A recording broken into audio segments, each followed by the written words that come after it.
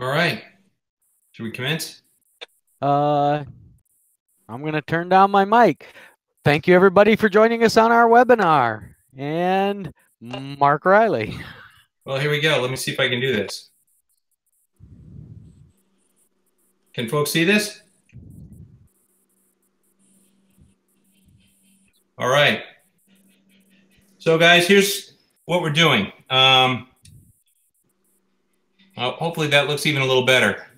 Um, we've had year after year where uh, we have the same bunch of folks going into Oshkosh and having a great time, uh, flying our velocities in, parking together on Velocity Row, and basically doing what we do over and over, and we love it.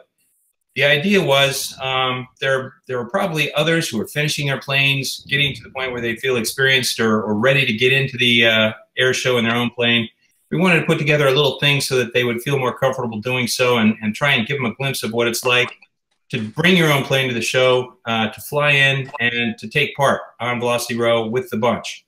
So, with that in mind, um,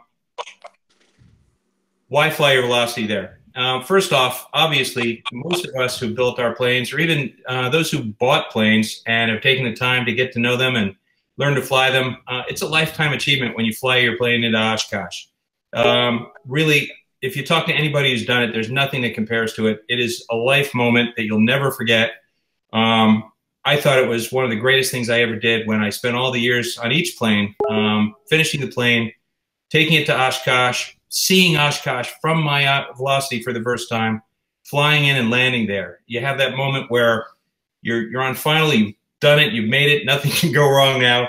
You land, and uh, you pop the canopy and and uh, taxi in, looking out the door. There are thousands of people looking at you, and you're looking at them, and you get a whole new perspective. In short, it's just loads of fun. Um, moreover, you get to share it with the people who most appreciate it and uh, what it took to build your velocity. You'll get plenty of people coming by your plane, and by plenty, I mean hundreds or thousands, believe it or not, during the course of the week. But the ones who matter are at Oshkosh, and by that I mean other builders, other velocity pilots because people, uh, the civilians, if you will, will look at the plane and go, wow, that's really pretty, cool plane. But they won't get it um, to the extent that another velocity builder or pilot will, particularly a builder. They'll look at it and you'll see people pouring through your plane, complimenting you on this little latch or your finish on this or your instrument presentation, your upholstery, whatever. All the little details that make your plane unique. Um, plus, if you're if you're uh, at Oshkosh, you're never going to see that many velocities anywhere else ever in the world. Uh, it's tremendous. Um, that having been said, there are only so many, many velocities at Oshkosh every year. I think the most I've ever seen there is 12 or 13. And there are lots of us out here. So we've always wondered why not come in? Um, because again, it's tremendous to fly your plane in. And not only that, the velocity people, it's, it's a fun, adventurous crowd of, of people who are just diverse, and yet they all share something. We've all gone through this process, and we built these planes and flown them, and you've got a bunch of people with a really unique skill set and a lot of common experiences to share. Um, and when I say flying in with your friends, to be with your friends, it doesn't have to start when you're on the field at Oshkosh. Several times we've flown in uh, in a loose formation with friends over the lake. Um, the last time we did so with, was uh, with Bill Batten. We flew over to Andy's house, stopped off, we had several velocities gather and have a little snack, and then we flew over the lake together. It was amazing. Um, you can't really appreciate what your plane looks like or what a velocity looks like in flight unless you've done this, really. Um, just floated there off the wing of another plane. It's an easy flight over the lake together. We had a great time. And when you get there, um, I've always said, you know, we got to get more people into this because you look at this, this view that I'm showing you right now, just a forest of winglets. It's beautiful. It's moving. Um, and again, you're going to see so many different velocities with um, so many little variations and so many great features. I've upgraded mine a number of times because I've saw, uh, seen so many great ideas on other people's planes. And frankly, you take them. So what we're going to do is talk about the practical. Um, if you're thinking about going now uh, or for the first time, great. We'll, we'll be talking about some of the, the basics if you've been a number of times uh, or even one time and you you want to sort of up your game and find out how to do it better faster, um, we're going to talk about that too. So we're going to start off now with the sorts of things you should be doing for your long range planning now if you're headed to Oshkosh in your velocity. First off, housing. You're going to have to stay somewhere. there are lots of options at Oshkosh, and we've tried them all. Um, just for perspective, uh, I've been going, I think this will be my 30th trip to Oshkosh and my ninth in my own velocity. And we've stayed in just about every option. Uh, started out camping. Um, Andy, Rife, and some of the others camp every year, and they love it. And there's a community of uh, velocity people that basically stays pretty much together, and, and they've become closer and closer friends over the years, sharing that experience. We stop by and, and have a snack and visit. Um, but camping is a great option if you really want to immerse yourself in Oshkosh and you don't have to leave the field during the course of the week. Anything you could possibly need is there. Um, there are trams that take you from uh, the campground back to the show area, back to Velocity Row, wherever you want to go. And uh, we'll, we'll talk more about getting yourself oriented at the show and getting around in a bit when we get into the details. Hotels. Um, surprisingly, you can get hotel rooms. Um, I don't know if you can still get them uh, very close to Oshkosh right now, but we've stayed, for instance, in Appleton and nearby. Um, some people may like it. The plus side of, of, the hotel is obviously you get your very own air conditioned room, which on a hot year can be a big thing. You get your own nice clean shower, towels, sometimes a pool. The downside we found is twofold. First off, um, you're going to have a drive. Um, you're going to have to drive probably from Appleton, might be 20, 30 more minutes in traffic and we found, believe it or not, that the energy isn't the same if you're staying at a hotel. We had uh, long haul truckers staying there. We had uh, the year we were there, a sanitation crew that was servicing the uh, the porta pots at Oshkosh stayed at our hotel with their trucks, which is really fragrant. Um, so I, I, didn't, for us, I didn't think the hotel thing was it. We've also stayed in local homes in Oshkosh. Uh, all the local people open their homes up, and you can get it through EA housing links on the uh, site. There are also uh, some other uh, housing, uh, I'm going to say businesses that will help you arrange it. Uh, and there are different ways you can do that. You can rent a house outright so that it's just you and your group and the owners vacate. I haven't done that, but I know a number of people do it every year and have a great time. Um, you can also just rent a room or rooms in a house. And we've done that where the people literally just give you a key to their house. Uh, you come and go as you please. Uh, typically, at the ones we've stayed, they provide you with breakfast. So it's like a sort of B&B experience. Um, we had a good time doing that, but for us, again, um, it worked, but it wasn't the best fit because I felt a little awkward being in somebody else's house with another family. Um, you'd be in the TV room and the family was there. Uh, it's it's inexpensive, it's convenient, but it wasn't really for us because you also needed a car to get around unless you want to walk to a bus stop. Um, we finally settled on the last option I'm going to discuss, which is the dorms. Um, the University of Wisconsin Oshkosh has uh, a large campus in Oshkosh. Uh, they open the dormitories up for um, housing for AirVenture attendees. We found this to be the best option for us, and I'm a big booster of it because I think um, it, it's a terrific option. When you stay at the dorms, you basically uh, check in and you get uh, a package with your sheets, your towels, a pillow, a washcloth, a cup, and a bar of soap. You go up to your room, and it's your standard college layout where you have uh, a door to the cinder block room. You've got two wardrobes, you've got two desks, you've got two beds, you have a refrigerator. That's all that's in the room. You you can rearrange the furniture any way you want. Um, and then you have uh, by floor, you have a men's room and a women's room, and they have common showers. So the advantage is you have uh, a bed to sleep in as opposed to camping. You have your own room with your own key. Um, you have nice hot showers and uh, a, a, bathroom. Um, I would say the biggest downside of the dorm is if it's a hot year, you're going to be hot. Uh, they're big stone buildings and it can get very warm in the dorms. You can get an air conditioned room, but the uh, air conditioned rooms are almost double. I believe we're paying um, $75 a night for an unair conditioned room I think it's $125 for the air conditioned dorm rooms. So if it's a really hot uh, year, in retrospect, it might be worth it. But when I started adding the uh, $50 per room per night, multiplying by the number of nights there, I decided I didn't care that much. And again, what we do is on our first day there, we'll hit the local Walmart or its equivalent. We'll buy $16 box fans, and we leave them there when we leave. Um, we get one for each person, and we're, we're fairly comfortable. The other good things about the dorms, um, they have Blackhawk uh, dining hall right across from your dorm, and you can go over and get a, a cafeteria breakfast. I think it was seven dollars and fifty cents for all you can eat. And then when you're done with breakfast, you walk to the outside of the uh, the uh, dining hall, and uh, city bus uh, comes by every 15 minutes to pick you up. The great thing is the city bus is a $1.50 round trip, and they go, I think, every 15 minutes. It's only about a 10, 15 minute ride. And another plus, we, we rent a car some years, but we leave the car and take the bus because if you rent a car, you could be a half a mile away out in this giant grass parking lot, or the bus drops you right up by the front gate, which is super convenient. Um, again, it can get pretty warm, but here's a shot of what the dorms look like when you check in. Um, there's not much to them. They're simple. You've got a window, you've got outlets, you've got desks and a bed, and that's it. So when we first get there, sometimes it's pretty warm, and the first job is to cool down. Second job is to go out to the store, get lots of liquid refreshment. Um, here's a shot of the bus. Uh, the bus is pretty fun because it's loaded with pilots from all over the country. We strike up conversations on every bus ride. We met tons of people. Um, I sat next to Jimmy Doolittle's grandson on a bus ride last year.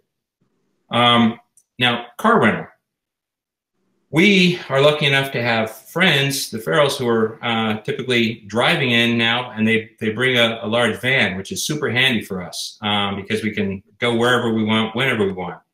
Um, car rental can be tough. Uh, if you're going to get a car for uh, the show at Oshkosh, get one now for, say, 2019. Um, I don't think you'll ever get one at Oshkosh. They have them available to pick up uh, at Oshkosh if you get them way, way in advance. They're expensive.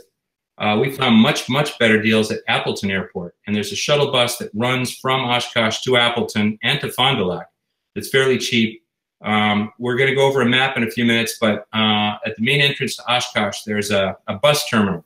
And there are lines for the different buses, and the buses all have signs about where they go. But you can get a direct bus to Appleton Airport or to Fond du Lac Airport and pick up rental cars at either of those. We've done that in the past. Uh, the good news is they're cheaper and more plentiful and available. The bad news is you got to take it back. Um,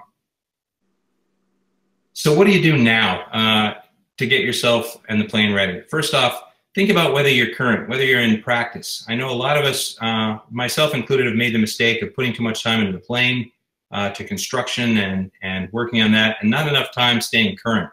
Um, Andy and some others will remember that the first time I flew my plane in, for instance, I had literally finished the last details on the plane uh, the Friday before the Sunday departure for the show.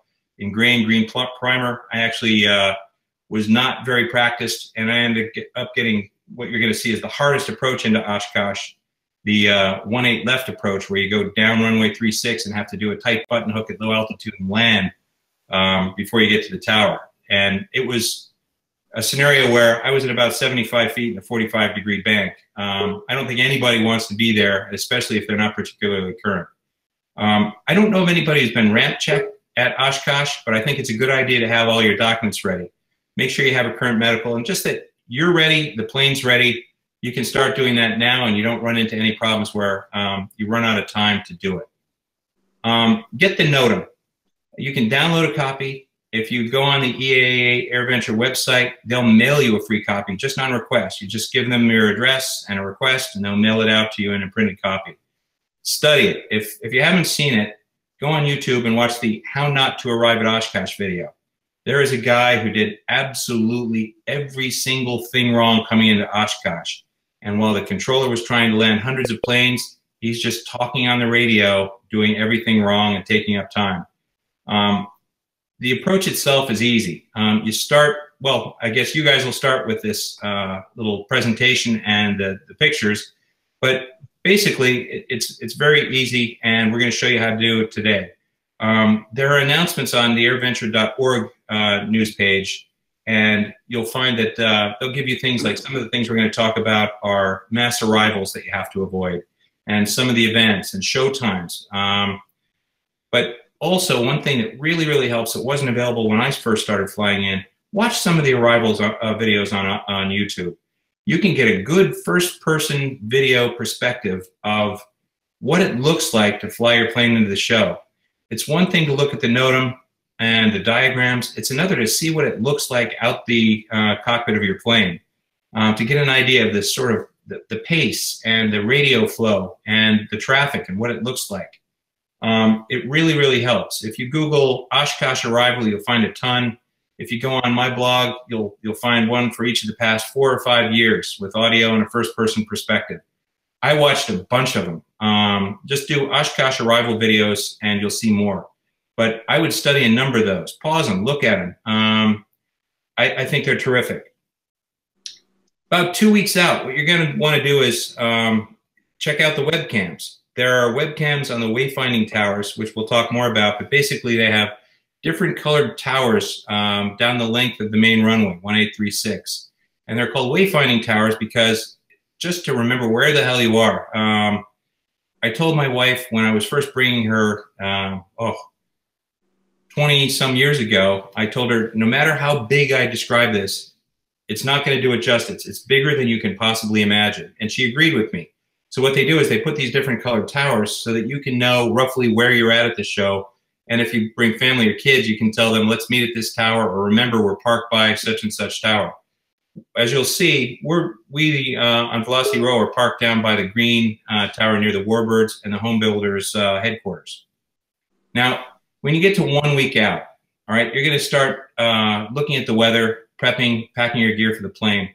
Um, I'm going to post uh, on this video some of the mass arrival times. Um, but start checking because that changes as the date gets nearer.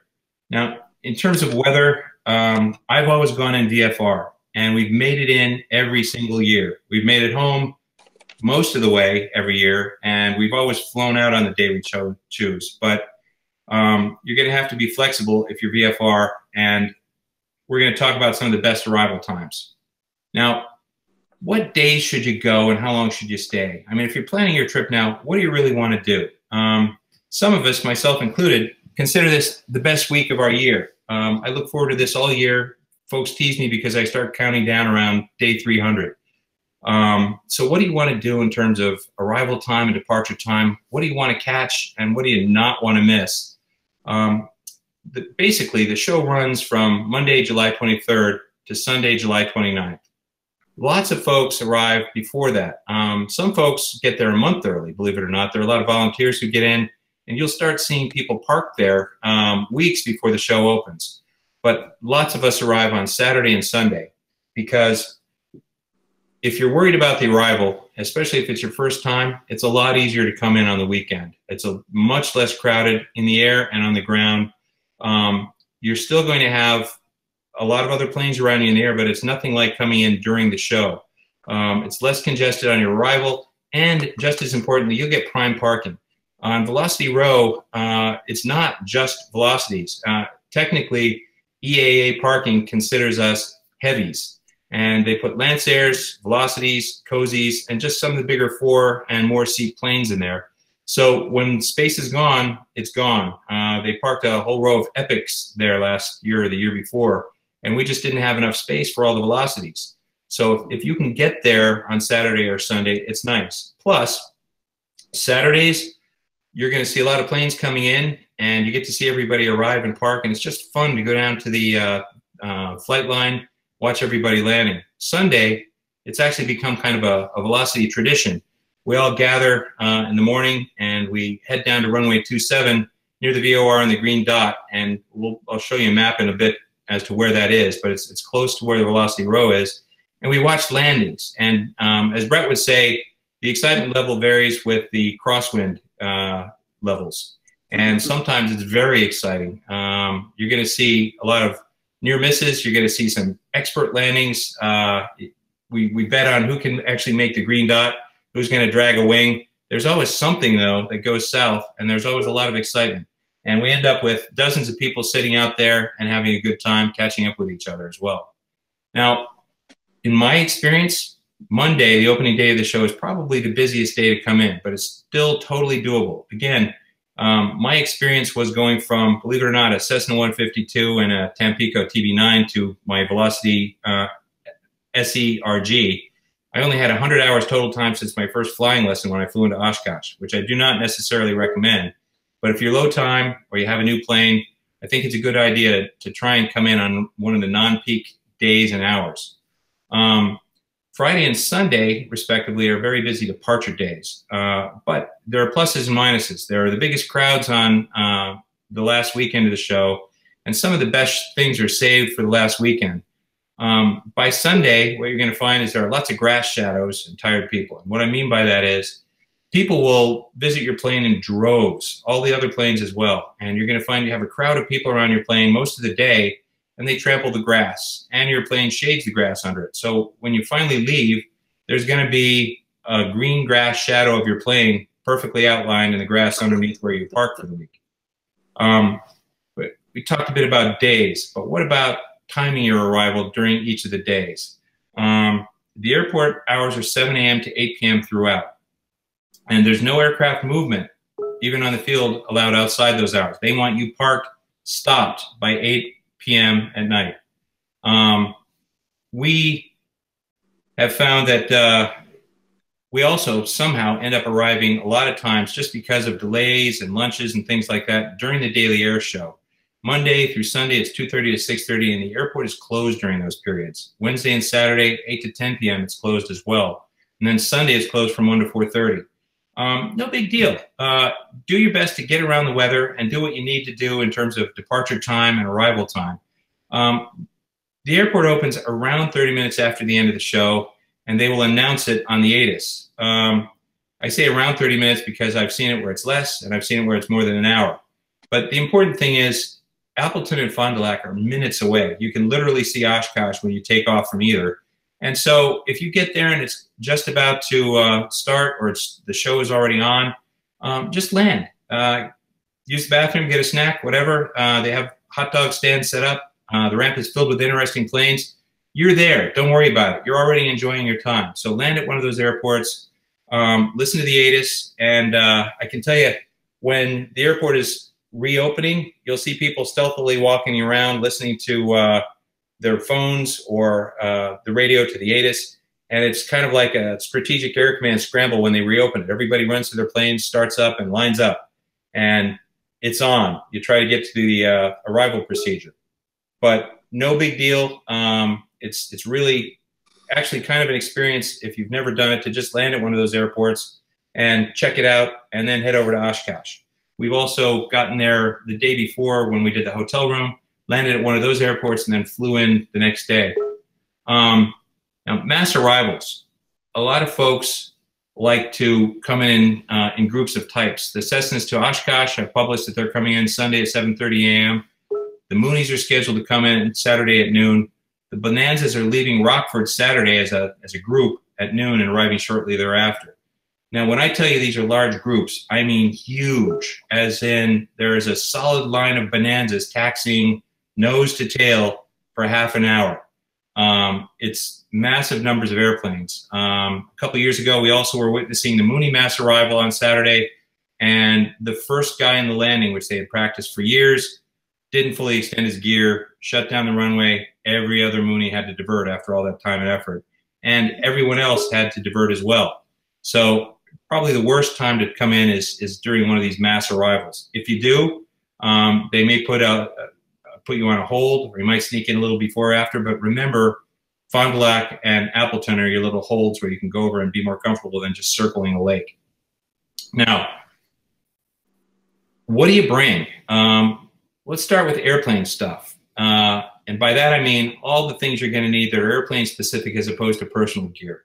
We tend to fly over Lake Erie and Lake Michigan every year and just go in a straight line from Pennsylvania. Uh, I recommend highly that if you're going over a lake, although the velocity will float indefinitely, bring life preservers. Um, Duane Swing, Swing, kind of famously has told us that uh, your, your ditching procedure is ditch, climb out on the strake, and fish until rescue arrives. I mean, these things will never sink, but I will have a life preserver and uh, survival gear. By that I mean uh, a handheld radio and uh, oh, uh, an ELT with me on every overwater crossing. Bring along a means to secure your rudders. Uh, people have had their rudders damaged because there's always some sort of strange weather at Oshkosh. There's always a storm during the week at some point, uh, and your rudders will flap in the wind and they can be damaged. There are a number of options that you can bring for that, um, from chip clips, um, homemade ones. I, I, just published some. You can take an aluminum, uh, little piece of aluminum tab, put two pieces of clear tubing, and just slide it in so that uh, you slide in the gap between the rudder and the lower winglet that's fine. I also went even simpler than that. If you bring some one inch um, Gorilla tape or duct tape, just put a tiny two inch tab at the bottom of your rudder. You're good for the week. um, I recommend bringing a cover. Uh, your airplane will get dirty and wet at Oshkosh. You have 800,000 people tromping around in grass, and every single day your plane is going to be covered with dust that's been stirred up and blown onto it. Um, bring cleaning supplies. We have a little cleaning kit that we bring just for Oshkosh. One of the best things that we found is a thing called the California Water Wand. And uh, that's a trade name if you look it up online. But any kind of large water squeegee will work. Um, every single morning uh, when you come out to the plane, it's going to be covered with dust and heavy dew. And that's a good thing because if you squeegee it, the dust comes off and all the dirt comes off with the water and you end up with a, a fairly clean plane right off. Um, so the typical morning routine for everyone with their planes at Oshkosh is to have their squeegee, to bring a selection of rags, to bring some Plexus or other uh, canopy cleaner. And the first thing you do in the morning is take the cover off, lay it out to dry, squeegee the water off the plane with the dirt coming off with it, um, get the rags to get the remainder, uh, then use Plexus on the uh, plexiglass, get it all nice looking. Typically, uh, we will also put on the pitot covers and chip clips at night and then take them off and store them in the plane during the day. Uh, I personally also like to bring some sort of uh, uh, oily rags for anything like that to clean up, and we bring Flitz for all the metal parts. They come in little tiny tubes. Uh, I will also recommend that you bring a repair kit. I think everybody should have one of those on any long trip, but we've found that we've we've used the repair kit on a number of occasions. You'll find sometimes cowling screws are missing. Uh, you need to tighten the cowling screws. Uh, you want to uh, fix a little leak. You might have various small repairs that you need to make. So we bring that along every year. A little duct tape goes a long way too. Also, you're going to need tie downs. Uh, you're required to tie down uh, tie down your plane. Um, most people that I've talked to have found the claw the most effective one there. It's easy to put in. It's very, very secure. It's it stows small, um, but it, it, it's a good option. There's no requirement that you use that, um, but bring a good tie down, whatever you're comfortable with. The other things you need to bring are your parking signs. Uh, if you're VFR, bring a VFR departure sign. If you're IFR, bring an IFR departure sign for leaving. For arriving, you have a choice. Um, they're all set forth in the uh, AirVenture uh, site and they're also set forth in the NOTAM. Um, if you want to camp with your plane, you're going to need uh, an aircraft camping sign. If you want to be with us on Velocity Row, all you need is an HBP, home built parking sign. I have one, uh, I'll show you at the end of this presentation that I made, finally, a double-sided laminated one, so I don't have to keep doing it every year.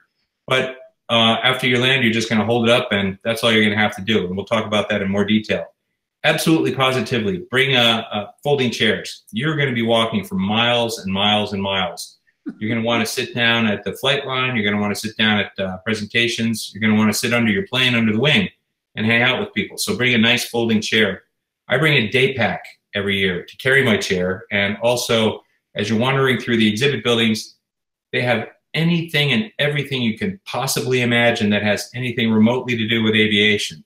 Um, if you were looking for, for instance, obscure hardware or to restock your toolbox of parts or that one MS24693 dash whatever screw, uh, there is a hardware tent that sells nothing but tiny bits of hardware. You're looking for a new handheld. You're looking for aviation related related clothing or uh, something with your logo on it.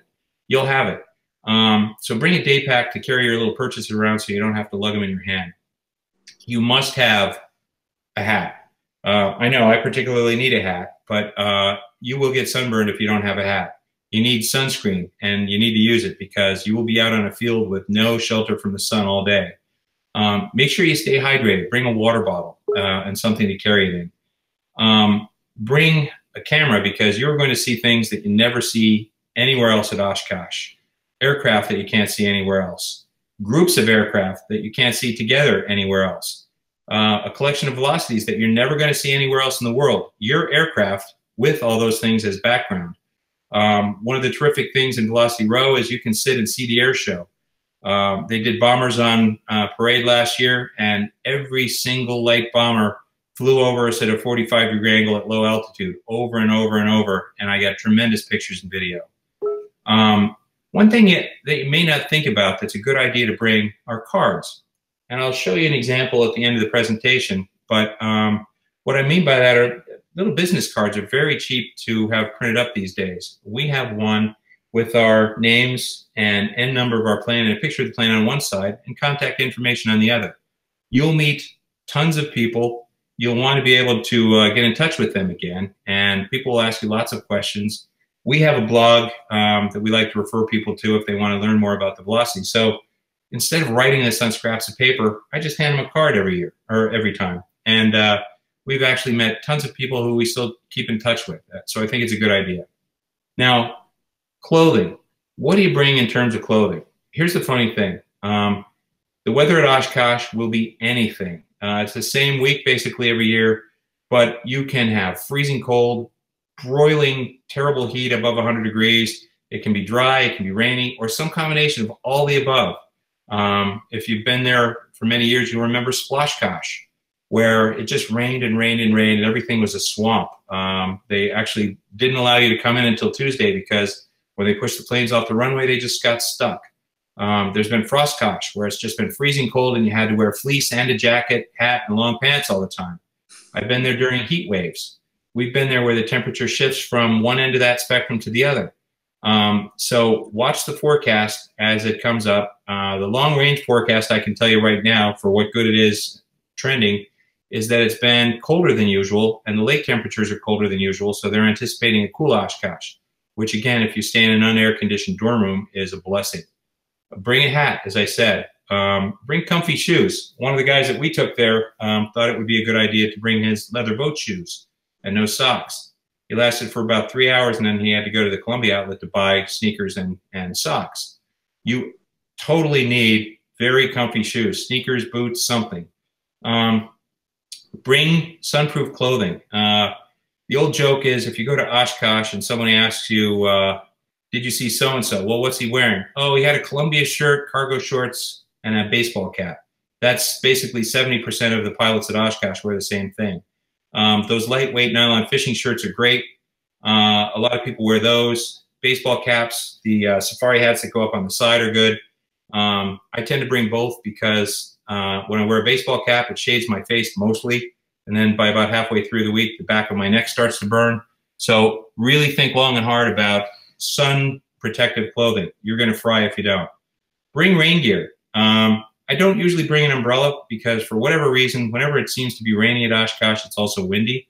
But I've seen people with umbrellas. It's not a bad idea. Uh, I bring a rain jacket, and that generally gets me through. I don't bring rain pants or anything more involved.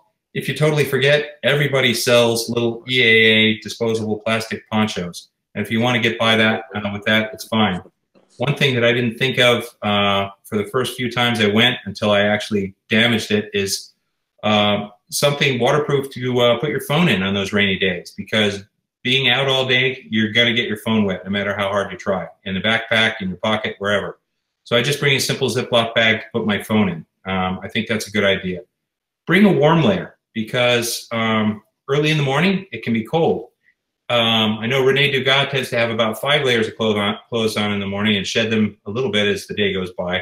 But even uh, my wife and I tend to uh, find that some mornings at Oshkosh are, are fairly cool. Uh, we like to get to the show early, and sometimes we stay late, and early and late can be cool. We've actually had to borrow clothes uh, for the Velocity Picnic sometimes because it got really, really cold.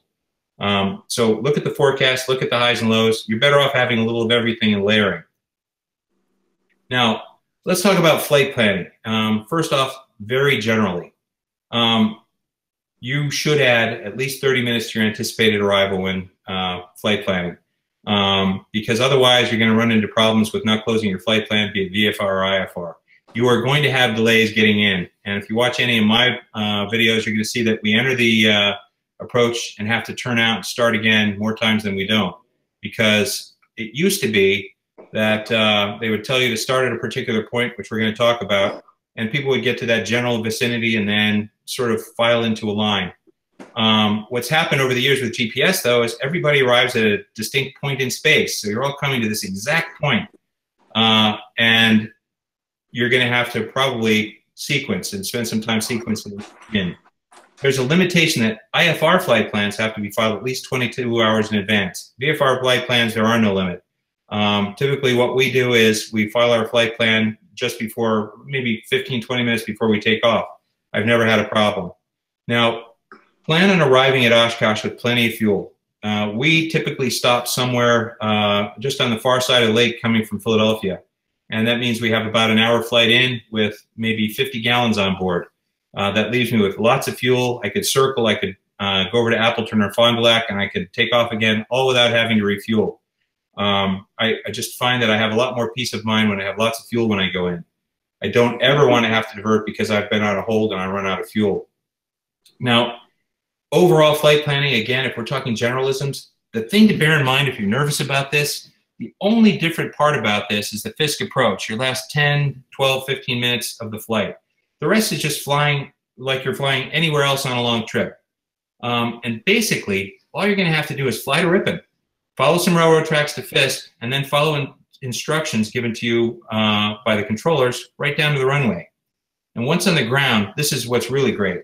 Uh, once on the ground, your work is done. Mentally, uh, obviously stay alert, but your work is done.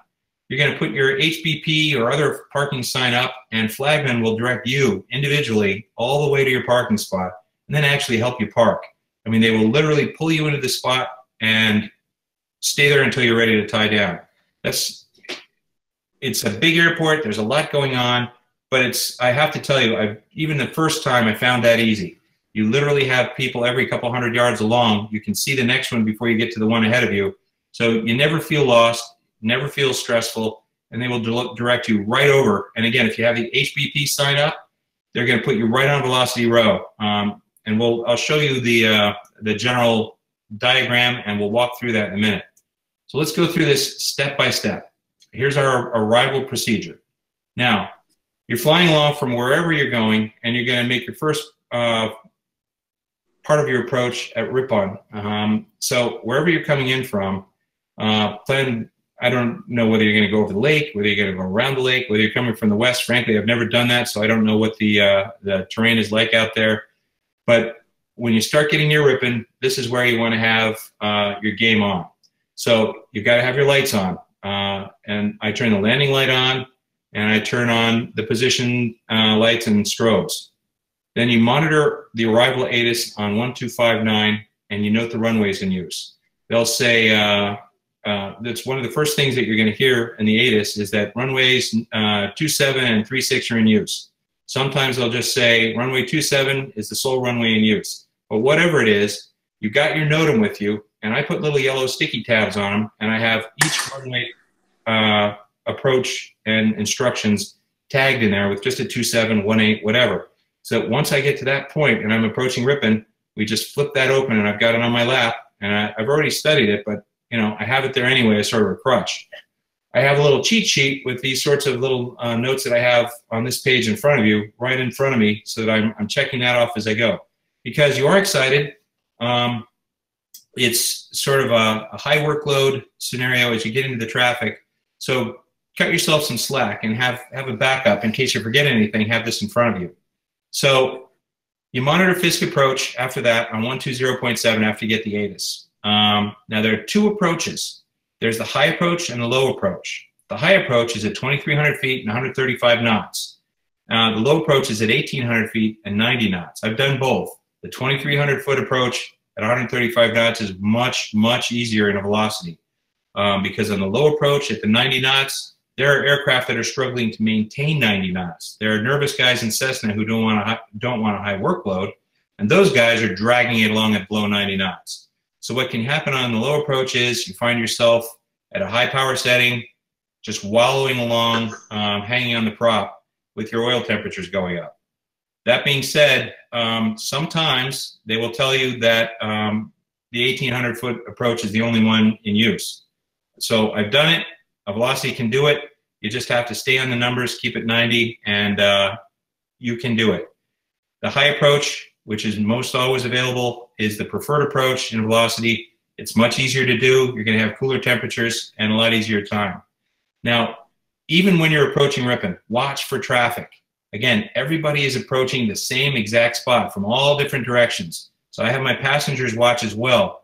Um, for me, the uh, traffic on my screen is completely useless most of the time because for two reasons. First off, there are so many that if I don't zoom way in, it covers my screen with black uh, traffic targets. Second, a lot of the aircraft in there um, don't have transponders. And a lot of the transponders are going to be turned off because once you get there, if you have a non-ADS-B transponder, you're supposed to put it on standby. Uh, again, otherwise they're just overwhelmed with signals. If you have an ADS-B transponder, this year, as far as I know, for the first time, you can leave it on. Um, but watch for traffic. What you're going to do as well is uh, you're going to get in line behind somebody. Um, once you've done that, you're most of the way there in terms of making this happen. Because literally, unless the guy in front of you screws up, you're just going to be following him in. So you're going to be checking everything else off, but it's kind of a, a again, a nice easy aid to have that aircraft ahead of you. Um, so we talked about getting to Ripon and what to do there. Now, Ripon to Fisk is the next leg of this journey. You're going to use a water tower and a grain elevator in the little town ahead of you. And I'm going to show you pictures in a few minutes. Um, you see the water tower and the grain elevator, and then you're going to follow over some railroad tracks. To me, I used to have a lot of trouble finding that. I don't even look for railroad tracks anymore outside of town. I look in town near the uh, the pavement, and you can see the uh, railroad tracks. When you get out of town, it looks to me more like a perfectly straight line of trees through the fields. I just look for that. But moreover, look for traffic. Everybody's lining up here. And you're going to find people coming from every direction converging there. Now, when you see this, check out the plane ahead of you. Is it somebody you can stay behind?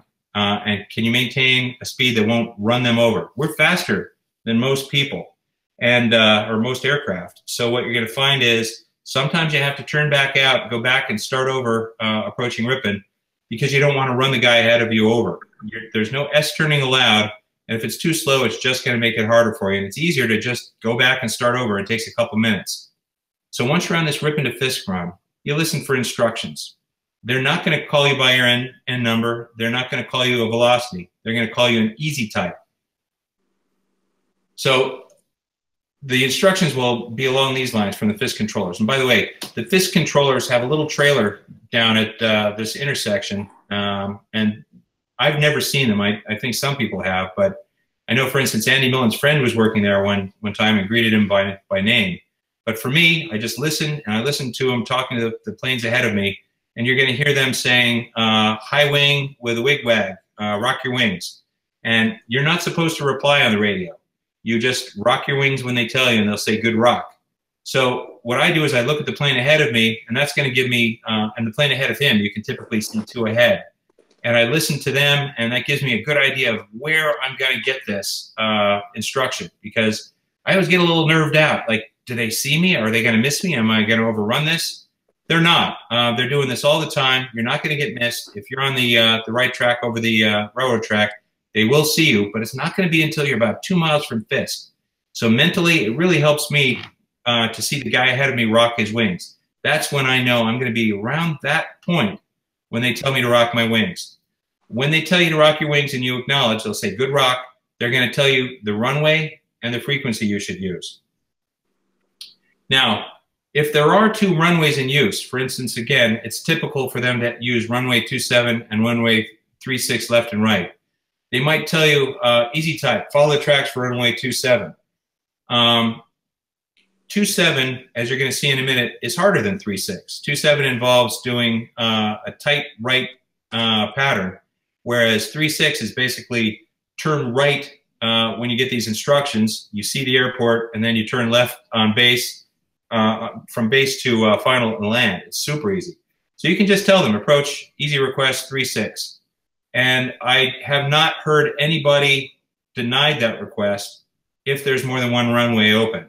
Um, what happens sometimes is someone will do a gear up, there's an incident on the runway, there's some other issue, and they will only have one runway and you don't have a choice.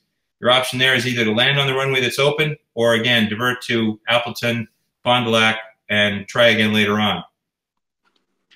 Now, you're at Fisk. You've just rocked your wings. Um, by the way, get a picture or video of that because that's a moment.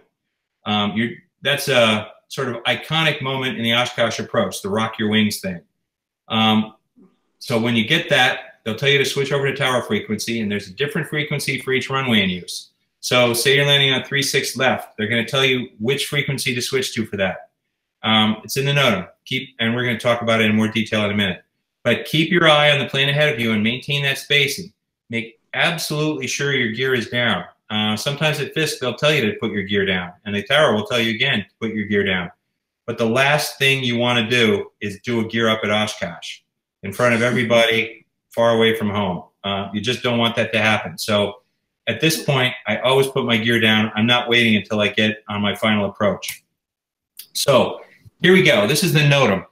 Um, I hope everybody has a good view of this. And in fact, um, can somebody tell me if they're hearing me? All right, great. Wanted to make sure I'm just talking away. So this is super, super easy. I'm going to show you the cursor here. So here you are in Ripon. From wherever you're coming in, for me, I'm coming up like this from Milwaukee. I get to Ripon, and that's it. Now, I've done all that stuff we described, and all I'm going to do really is I'm going to go down here, lake on my left. I'm going to go to over Pickett and to Fisk. And right around here, they're going to tell me to rock my wings as I approach Fisk. And then they're going to tell me to either um, do the approach, most typically up the railroad tracks for 2-7, or I'm just going to turn right there. They'll say, um, easy type, make a right turn for left base for 3-6. And so I just turn right, right here. There's a highway. I go right down the middle of the highway. And then way back here, and I'll show you a picture in a minute, you're going to see Oshkosh.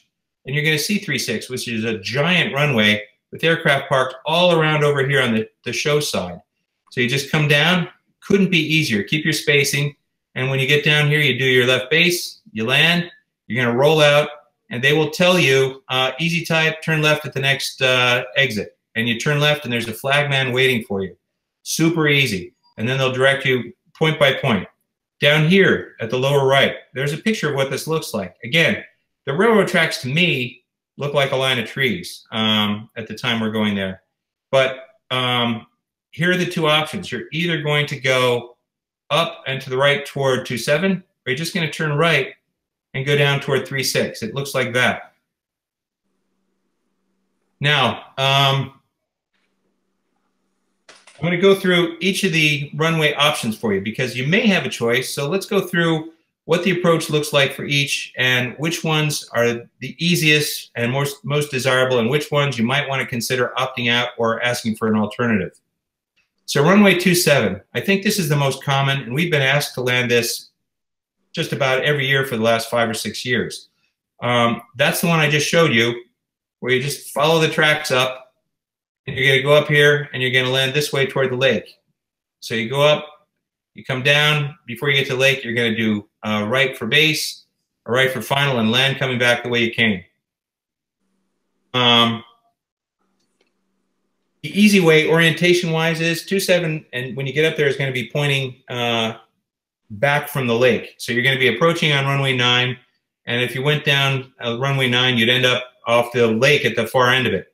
Um, what they're going to ask you to do is to stay inside the gravel pit. So when you get to the near side of runway 9, on the left of the runway, you're going to see a big gravel pit. And they'll, they don't want you to go to the left of that in your direction of travel. But um, the closer you get to the runway on the downwind, the tighter that turn is going to be because you're not going to know as you're going downwind necessarily where on the runway you're going to land because there are colored dots down the runway. And this is the only place that I know of in the world where multiple aircraft are landing on the same runway at the same time. So just ahead of you is a, an aircraft, and they're going to give him a dot further down the runway. They're going to give you a dot in the middle of the runway. They're going to give somebody else a dot at the near end of the runway. And everybody's landing at the same time. So as you're going down, pay attention where the dots are. I typically start the uh, downwind run at 1,000 feet and a 500 foot per minute down descent. I'm ready to land, and I'm ready to turn right for my uh, base at any time.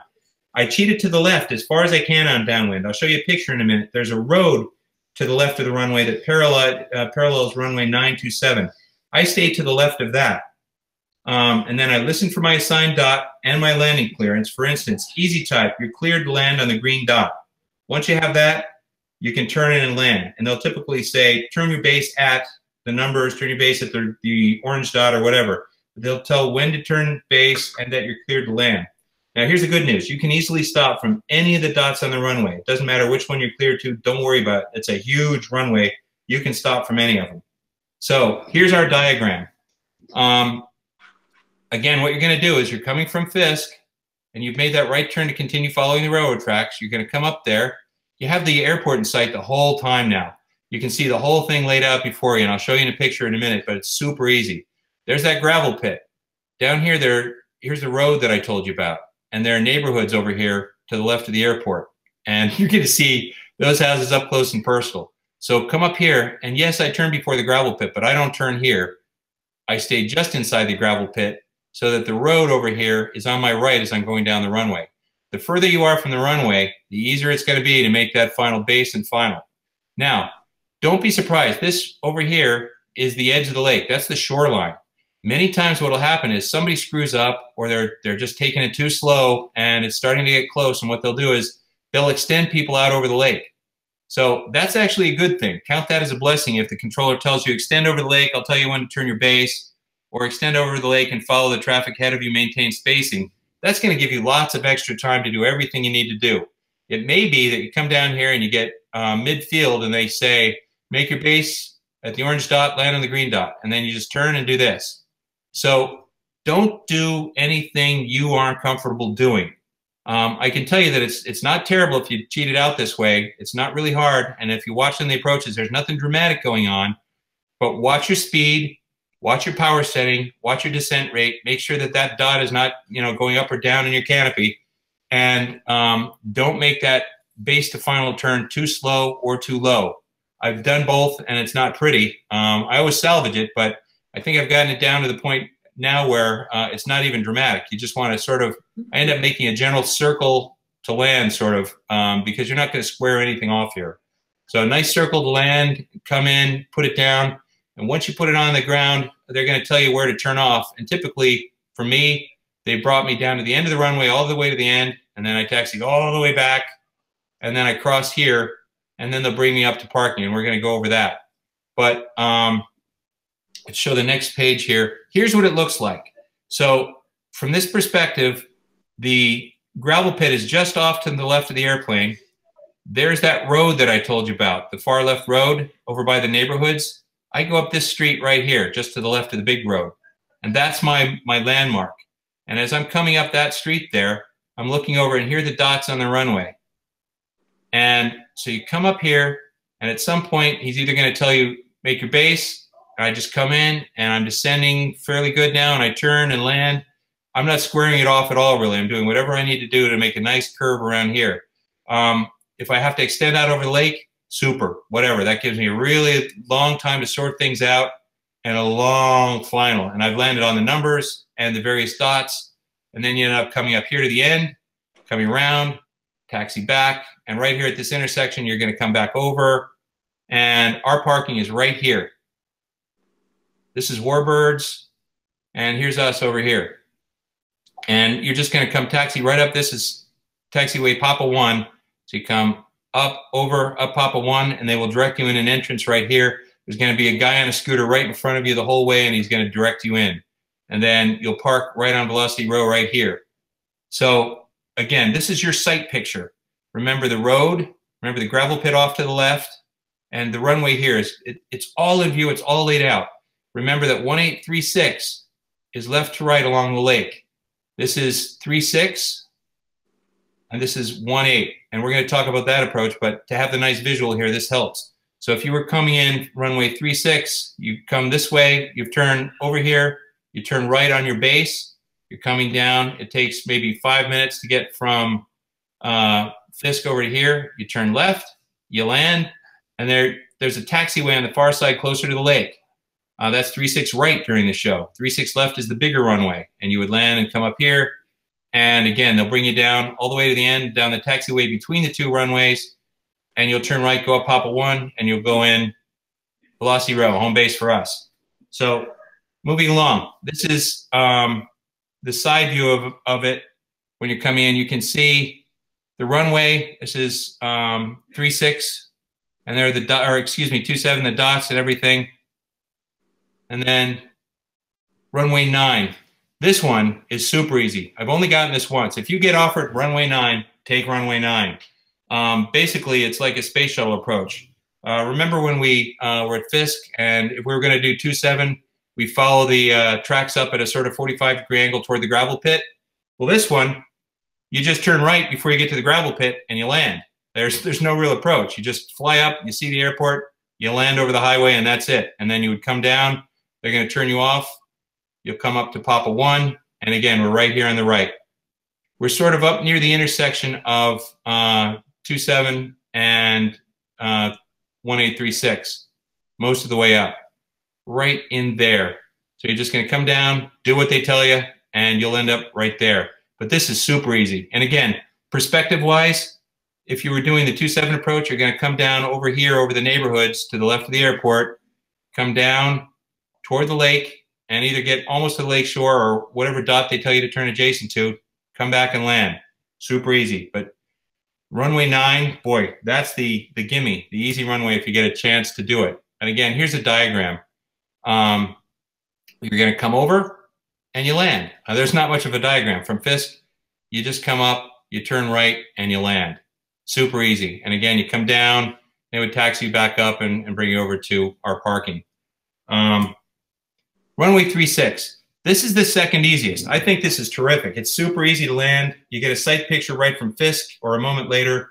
Basically, what you're going to do is when you get to Fisk and um, you've rocked your wings, they're going to tell you uh, turn right for a, a left base for uh, two six or three six.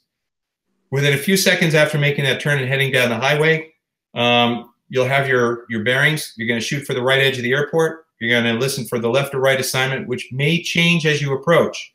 Um, because if somebody comes in on the Warbird arrival, uh, they'll put them onto runway uh, 36 right, and they'll make you change to left. Um, but all you're going to do is come up, make a base to final turn, and land. Super easy. Here's the diagram, right? So you're coming over from Fisk. You've just rocked your wings over here. You've turned right, and you're now on a left base. You cross the big highway. Now you got to get ready. Again, um, for me, I'm at about 90 knots and I'm descending at 500 feet per minute. I'm set up for landing. I'm checking my gear several times so I don't screw up. You make a nice left, and you have all the runway in the world. They'll probably give you a dot. If somebody's behind you close, they might say, keep it in the air until the yellow dot. Keep it in the air until the pink dot. Um, you land, and once you land, uh, the, the tower controller is going to tell you, exit the next taxiway, follow the flagman.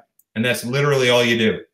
So super easy here as well the NOTAM gives you the, uh, the landing distances from each dot. Again, they're all fine for us. I mean, I think any of us can land in 3,400 feet on a huge runway with an approach like this. Um, oh, and one more thing. So you're going to come down and you're going to come over to a taxiway. You're going to bring you down again to Papa One, and you're going to turn left when you get to the end of the taxiway. It brings you up here, and you'll park up in this area.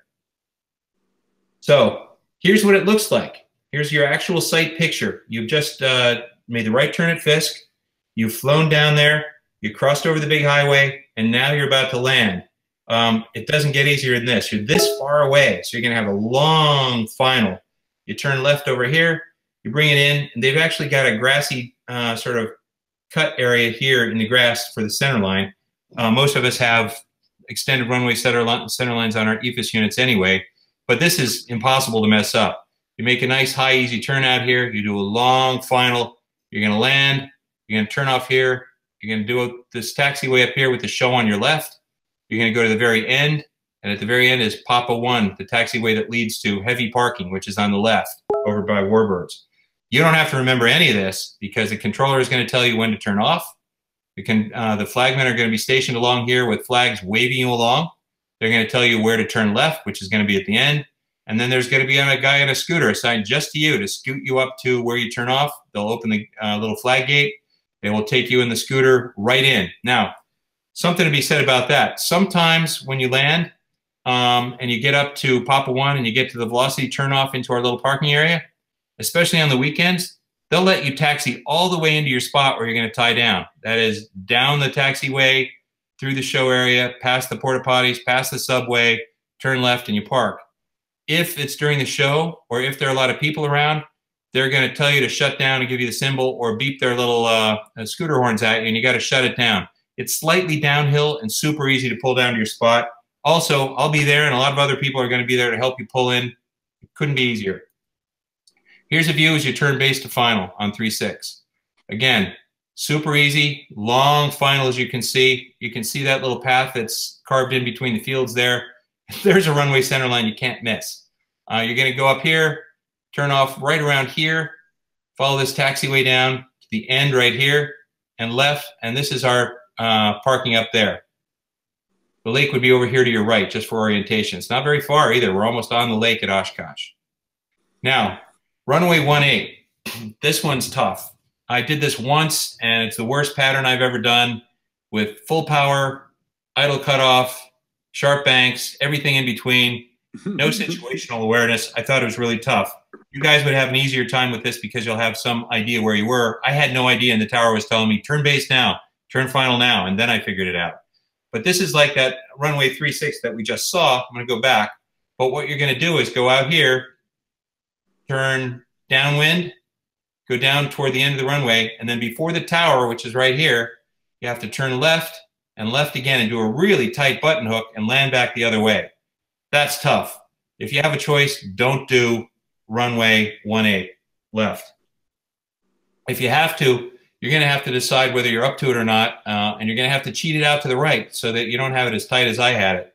Um, now, there's also another one where they can send you via the railroad tracks to do the same thing. Here's here's the pattern we just talked about. Um, over the highway, for the 3-6 left and right approach, you just turn and land. For the 1-8, you're going to have to go up. See the tower here? When you get a beam the tower, you're going to turn and you're going to land. Don't go any further because you're going to have landing traffic, including jet traffic and high-speed heavies up here landing on 9 or 27 at the same time. You do not want to go past the tower. So up, left, left, and land. It's doable. I did it with 150 hours, I think, uh, in a standard RG. So here's the uh, railroad track approach. So if they tell you to go to 1-8 left or right via the railroad tracks, not so bad. You do the, your same old thing um, as if you were landing on 2-7. You go up to the gravel pit, you cheat it out, and they've, they've actually shown it cheated out a little here. Um, you cheat it out, and then you're just going to do a right turn and land on 1-8 right or left, which is actually not bad. So the only one I don't like is um, the one standard 1-8 left or right approach where you have to do that tight turn. This is just as easy as any of the others. Um, some notes on landings. You got to make absolutely sure your gear is down. Um, check it multiple times. Uh, I put it down at Fisk. Some people put it down at Ripon. Uh, I keep mine up until Fisk because I find that for my aircraft, my oil temperatures stay lower because I'm not, uh, I don't know, it's just the power settings and the drag. So I keep my gear up until Fisk and then I put it down. It would probably be cooler if I uh, kept it up, but you know what? I'm not willing to make that mistake because I think I could do it. Um, fly the airplane. Uh, don't get nerved out. This is just an airport, and the runways are huge. Once you get onto the approach, there's somebody right ahead of you, and everything's all laid out for you. And nothing really happens that fast. You just can't run anybody over. You have to maintain your spacing and your situational awareness. I think it happened. Uh, it helps a huge amount now that you've been able to see it from uh, perspective and on the NOTAM. Uh, to me, seeing pictures and seeing videos just gave the NOTAM a whole better level of understandability. Um, it's just an airport, and the runways are huge. There are probably only going to be two choices, or maybe even no choice. You might just get an easy runway, and boom, you know what to do. You've got it on your lap. You've seen this. Um, you've seen the pictures. You probably have seen videos. Bearing that in mind, you can always say unable. And I know uh, Andy's gone around when they they jammed him up on an approach, no fault of his own. I never have, and I should have. So uh, my my getting better at this is I might I, I, have to be willing to say unable instead of trying to salvage a really difficult approach. Because you can always go around. You just inform the tower immediately that you are going around. They will sequence you right back in. They will not send you back to the beginning. So after landing, um, again, the tower is going to tell you where to turn off. And remember to hold your parking sign up, and then you're going to go over to ground. The flagman will be there. I don't, actually, they have talked to me from ground frequency, um, just telling you when to cross the runway. And that's just augmenting the flagman because the flagman will direct you every moment of your taxi from the time you is, get off the runway till the time you're stopped in your parking spot. Now, I've had them ask me to taxi in the grass on occasion, and sometimes I have, and sometimes I just wave my hand at them and tell them to come up and talk to me, and I say, no, I need a hard surface. And when I've asked, they've always given me a hard surface, and the other pilots I've talked to have said, yeah, uh, they've never denied me a request for a hard surface taxi. Um, the place is immaculately maintained. It's like a parking lot or a, a, putting green. So I didn't have a problem when I was taxing, but I have to say with my very expensive prop in the back, uh, especially in the lower RG that sits lower to the ground than the uh, fixed gears, I'd rather be on the hard surface. Um, but monitor the ground frequency. If you have a request, wave those guys up and the guy will run up to your cockpit and talk to you. Now, parking. If you have a home built parking sign, you will be directed to Velocity Row. You don't have to worry about that. Um, they'll bring you up via that Papa One taxiway at the very end. You'll get to see the warbirds. Um, you'll get to see the whole show on your way. It's a long taxi. They may allow you to taxi all the way to your spot, as I said. They might not. But um, there will be people there to help you push your plane to your spot. There's always help either from other Velocity pilots or if you need help, catch one of the little guys on the scooter and they will get you help. Um, there are CAP kids and other guys on scooters will come zooming up to your plane. You'll get four or five guys to help you push your plane. Um, never think you have to struggle to do it. Um, Velocity Row. This is where you end up parked. This is what it looks like. It's terrific. Um, from this perspective, the show would be off the frame toward the bottom of the picture with my plane facing the runway uh, 1836 and the show. Right behind us is a giant field filled with RVs. Um, you'll note that right behind my left winglet, we have our very own porta potties. Behind my right winglet, we have a subway that op is open on Saturday and Sunday. They have good breakfast. They have good lunch. Um, if you go further off to the right, uh, or actually in the left in this picture, um, that takes you towards Show Center. There's a cheap place to get burgers if you don't want to wait in line. And there's home built headquarters, which would be toward the left in this picture and toward uh, the flight line. Um, here you're going to see, uh, let's see, is that Patrick?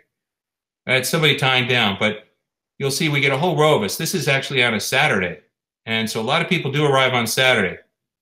This is where, again, you're going to turn in right here, and then you're going to taxi down and either get to turn around past the, the porta potties or they're going to have the, you shut down here. But as you can see, there's a slope. So this is super easy getting in. Now, once in your spot, tie down and figure out what you want to do. Um, if you want to stay, you don't need a wristband to get in the gate. You're already in the show. They don't check once you're in the show. So you've got a freebie once you got in there.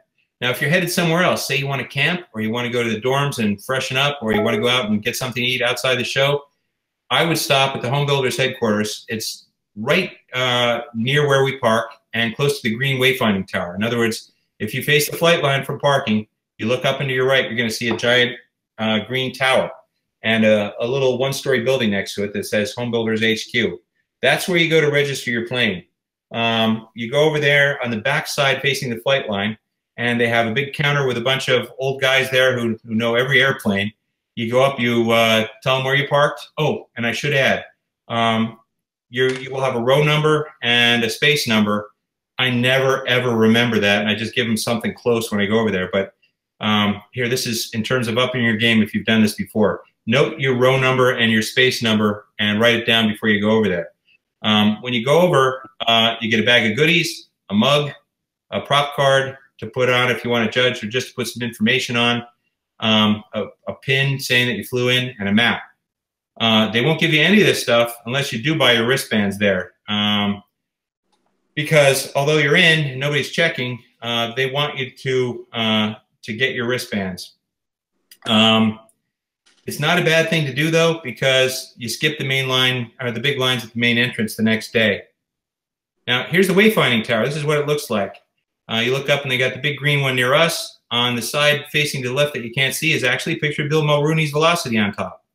Um, over here on the back side, the flight line would be off to the right with 1836 going this way and 927 going left to right just past us and past Warbirds. So you come around here and you're going to see this. And these guys have everything. They have the stacks of mugs waiting for you. They've got little bags of goodies. And uh, you register your plane and They'll ask you some questions about the details about your engine, your end number, um, how many times you've flown in, that sort of thing. If you've been there before, they already have that information. But you get your stuff, you get your wristbands, and you head out. You head back to your plane, um, and there are welcome wagons. And this is, again, up in your game if you've already done this before. I didn't know about the welcome wagons for the first six or eight times I flew my plane in. And then I think it was Andy Millen, or, or yeah, it was Andy Millen who told me about them. And after that, I saw them all the time. They'll have these little cut down vans um, and uh, Volkswagen bugs and things like that. They're not street legal. It's just big benches and storage areas in the back. And if you go over to that Home Builders HQ we just saw, um, on the near left corner, or excuse me, as you face the building from the back, the near right corner um, facing the runway, there's a, a Home Builders HQ uh, um, welcome wagon representative. And you just ask him, and these trucks will pull up. They'll take you back to your plane. They'll load all your bags and all your people, and they'll take you wherever you want to go within the show, all the way to camping to your camping spot, up to the front gate to catch a bus, um, wherever you want to go. And they have a little jar for donations. We always give them something. They even give us free water bottles. Uh, they're just super friendly. This is what they look like. Um, you just, this is from the perspective of Velocity Row looking back toward the RVs and the, uh, uh, the subway. It's just super easy. You pop in here, they take you wherever you want to go for free. Um, once you're there, uh, what do you plan on doing? Well, generally we get to the show when it opens at seven, and just about everybody with velocity uh, gets there pretty early. We take the covers off and lay them out to dry. We squeegee off the dew and the dirt as I described. The chairs come out. Everybody get, gathers in groups, starts talking, and the day begins. Um, now, the velocity booth, this is an amendment. Um, the velocity booth has always been just inside and to the left of the main gate. When you're coming in from outside, the main gate has the uh, two concrete B-17 engines um, on the gates and a big sign. And then you go to the left, and there's a big place to get your uh, your passes and wristbands.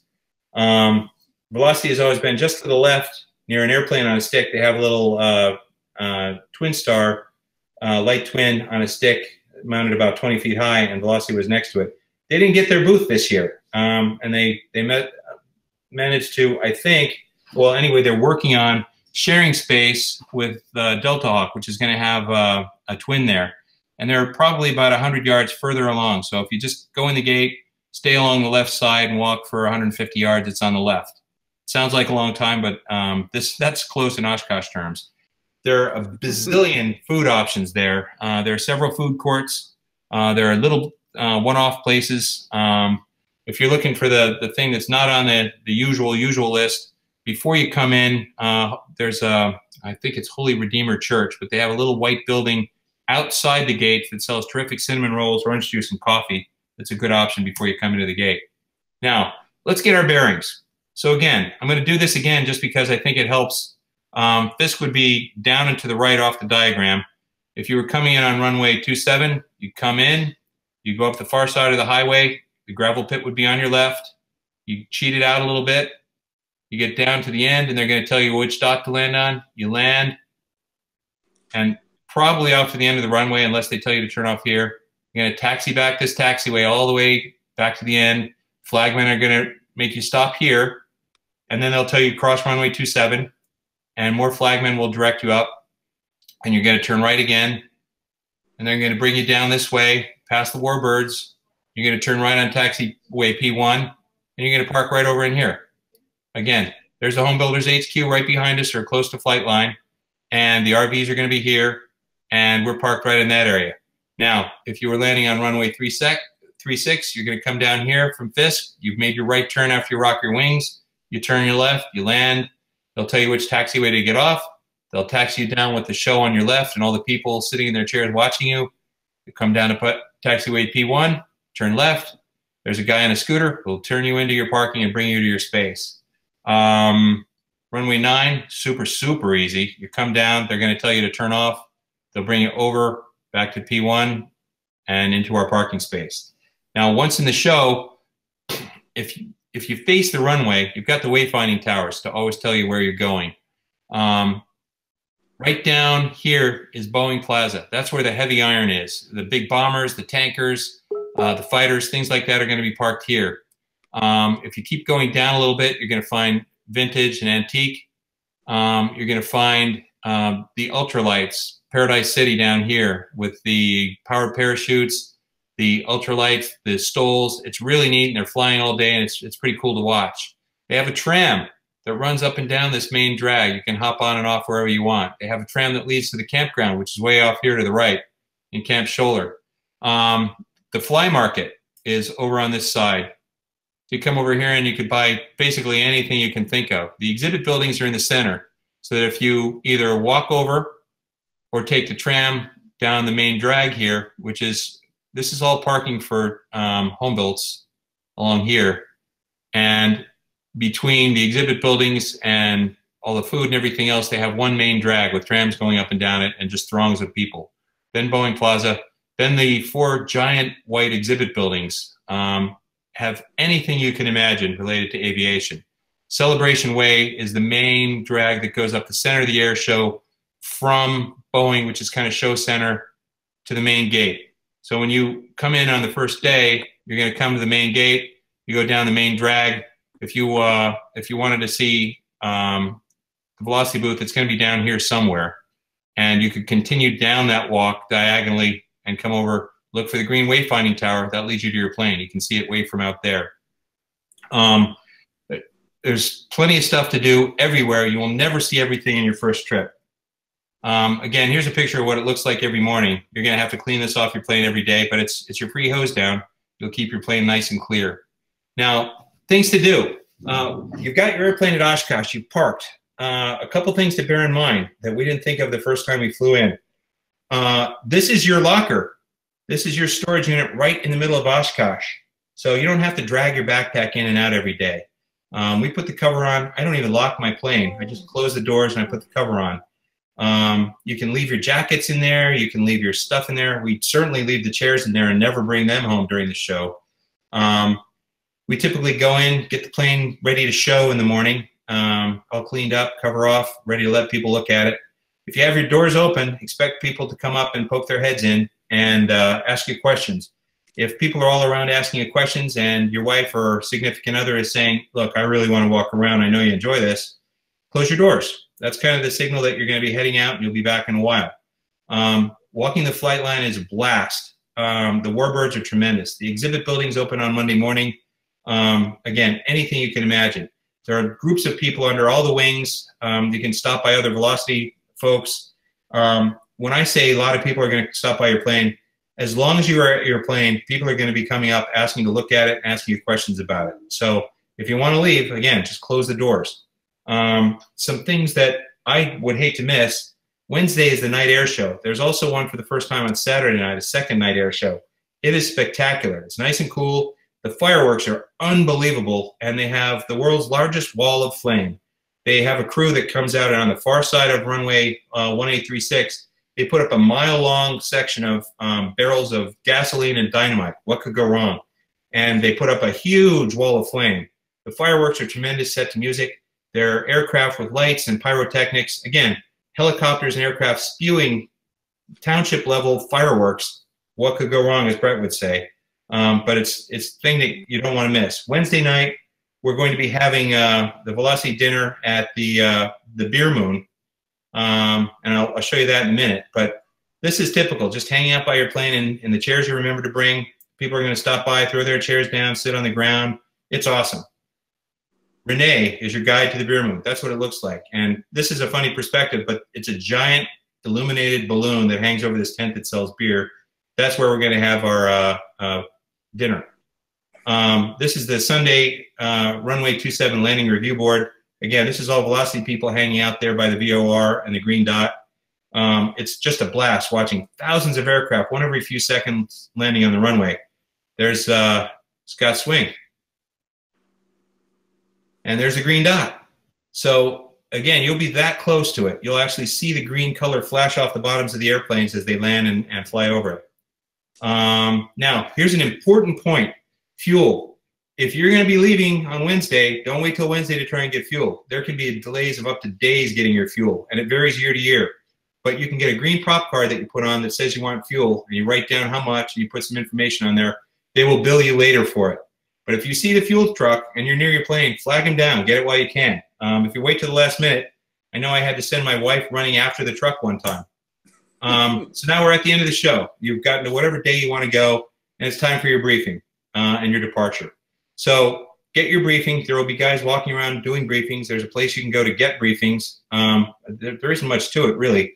I'll explain what they're going to tell you. Um, but you're going to monitor departure ATIS on 12175 before you start up. And what they're going to tell you is that you're going to taxi down that big long taxiway to the departure end of uh, runway 36. 36. Um, now you got to push your plane up to the taxiway. You're never going to be allowed to start up in velocity row or near. So um, again, if you need help, um, ask us. Any of the other velocity guys will help you, and you can ask a guy on a scooter, and people will magically appear to help you pull it up. When you get up there, make sure you're ready to go the scooter flagman is going to be there to clear you out onto the taxiway. When they tell you to go, they're going to want you to go right now. So be ready to start up. Um, as you're sitting there, it's not a terrible wait because um, Mustang after Mustang after Lightning, uh, World War II fighters are going to be taxiing by 10 feet from you, like really good close-up view and sound. Um, don't forget to put your sign in the window. You either have a VFR or IFR departure sign that will tell them where to direct you. And stay tuned into the ground frequency after you get the ATIS. And it's posted. And it's in the NOTAM. For instance, here's Andy Millen getting a, a departure briefing. This is what the dudes look like, and they'll, they'll give you uh, a little sheet telling you what to do. So after that, you're going to pull your plane up. This is what it looks like looking back at the parking area, uh, back and right there. Um, so we pulled out, and we just pull it that far up, maybe 50 yards, and you stop at the little uh, line across the uh, edge of the taxiway. And at this point, we are ready to go. I got one chalk in. I've got everything ready to go. Passengers in with the headsets on. Again, Mustang's taxiing by, but we're good to go. And now you taxi out to the main runway. You turn right. There are flagmen directing you. They'll direct your taxi to the very end of the runway with the show on your right. You're going to go the whole way. And at the end is a MUCAL. Uh, it's a mobile plywood crappy command center with a bunch of FAA types who are going to direct you onto the runway and clear you for departure. This is the view as you turn right, and now you're going to do that whole mile plus long taxiway down to the end. With your VFR, actually, there's your VFR sign laid on the glare shield. That'll get you down there. Um, that's the view looking back as you get near the end. And here's the view as you get to the end. Um, you're going to come down here. You're going to wait. As you get near the end, you're going to stop in traffic. Turn 45 degrees to the right or left and do your run up. Be ready to go when you get down here. That's not the place to do the run up. Before you get to the end of the taxiway, be run up and ready to go because when you get down there, they're going to say um, easy type. Uh, line up and wait on runway 36 left, left side of the runway. They might even put somebody on the other side of the runway. And then they'll say clear for departure. So departure times. If you try and depart at a peak time, this is what you're going to get. I did this. That's me right in the middle. And all my cylinder head temperatures and oil temperature were near red line. I had a 40 minute taxi down that empty taxiway I just showed you. And departure times can be right before the air show starts. They can be right at the end of the day before the airport closes. You'll you'll see when it builds up during the show. Don't do this, or you're going to have to worry about your temperatures. Um, now, it's going to be in your departure briefing, but all you do is after takeoff, you turn right before you get to the tower, maintain a heading of 150 degrees, and re remain below 1,300 feet until you're clear of the Oshkosh Airport airspace. There's, this is all set forth in the departure NOTAM for you in excruciating detail. So again, it's super easy. Now, here's a diagram. Again, you're going to take off, you're going to turn right, and you got to stay clear, and you got to go out of the area before you climb out. Typically for me, I'm getting out on that heading, 150 degrees. I get down here, once I'm over the coast, that's when I climb up. Um, this is the view after you make that right turn. This is 150 degree heading on departure, immediately after departing the airport. There's the tower. So again, our parking is down here. You're going to taxi down that whole huge taxiway to the very end. You're going to turn, take off, and turn right before the tower. Head out at 150 degrees until you leave the area. And that's it. Um, so at this point, I'd like to uh, see if anybody has any questions. We're exactly one hour, as far as I can tell. Mark, uh, Bob here. Yeah. I'm wondering if, if it is control tower the week before the Oshkosh. No. Uh, not the whole week. Um, on I think it starts on Friday, Friday where they have the the arrival procedure in effect. So if you came out on say a Monday a week before the show, it's just a regular airport. Uncontrolled.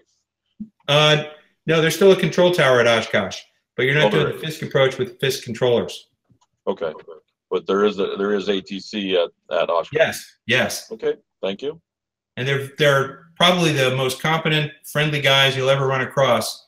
They compete throughout the nation for spots to get on that tower uh, crew and to get the very coveted uh, Oshkosh uh, ATC shirts. Yeah, it's Monty here. I think that Oshkosh is Class B airspace when it's not the air show. Right.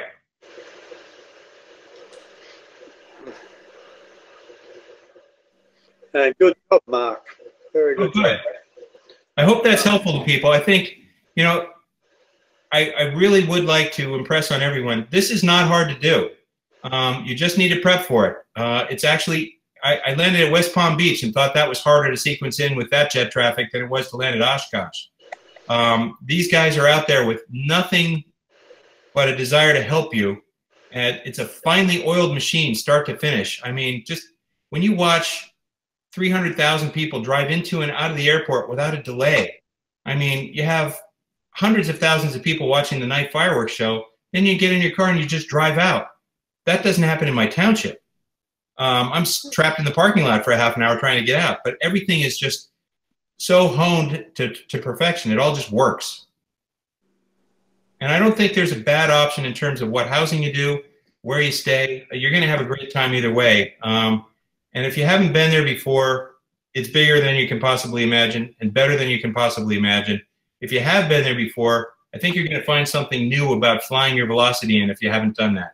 Um, in terms of just being there with your plane, um, showing it off, frankly, is awesome um, because you're nobody gets very much appreciation during the building years. You, you're just that idiot building an airplane.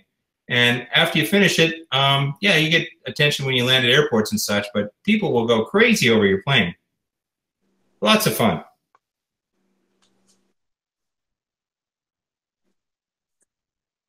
Oh, there it is. I'll go with the authority.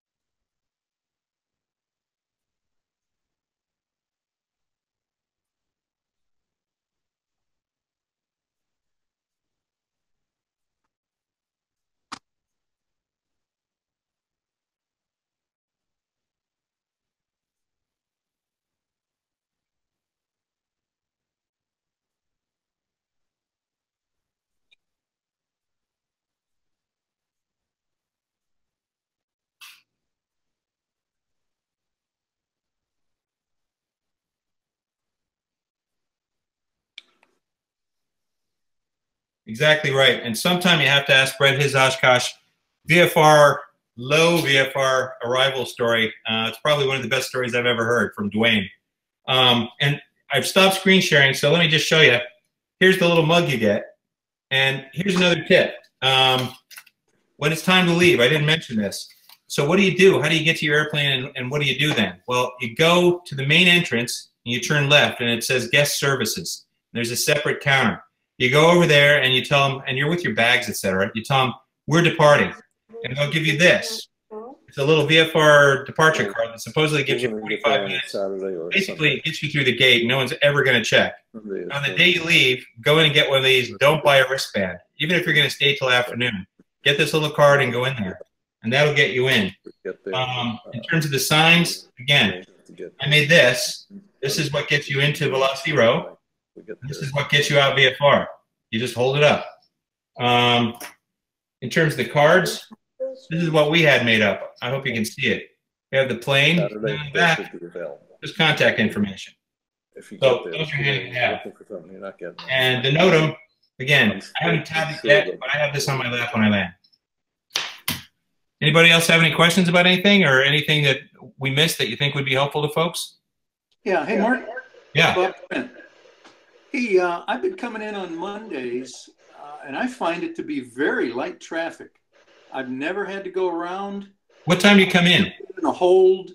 Uh, it's been really good. I've- And most of the time, I'm not even following anybody in. What time do you come in? Uh, mid to late morning. Yeah, you know what? That's great. Um, I've had the opposite experience a couple times, and I've had it the other way sometimes. I can't figure out a rhyme or reason to it, um, other than weather. Sometimes I find that if there's been a, a, a front or something that keeps people out, you get this back pressure build up, and everybody floods in. Yeah. Or if you have Yeah. bad weather coming and you're close, other people are saying, no, no mas, I'll just wait till tomorrow. You can go in and it's empty. So there are a lot of different factors, and you're right. You could go a couple years and not have a problem. But um, I avoid Monday morning um, because we did it one or two years and it was pandemonium. Okay. Anyways, hey, uh, I also drive the welcome wagon, and you guys, when you register, the welcome uh, wagon crew is right next to that registration booth.